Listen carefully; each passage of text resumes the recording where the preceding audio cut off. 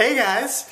Uh, it is currently a Thursday night. I don't have class tomorrow. Um, my friend Nathan from high school asked me if I wanted to go comic book shopping, which we did and got lost in Minneapolis for a bit, but I bought some awesome comic books, which I haven't done in a while, and now we're just chilling in my room. I'm standing on a chair because he is taller than me.